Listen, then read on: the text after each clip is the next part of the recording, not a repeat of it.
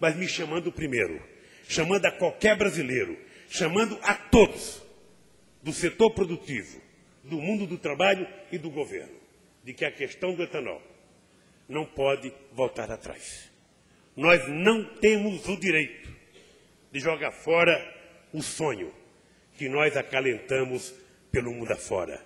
E muito menos nós temos o direito de permitir que os dedos sujos dos nossos adversários venham implicar na criação e no crescimento do nosso etanol. Muito obrigado pelo prêmio, Marcos, e muito obrigado a todos vocês.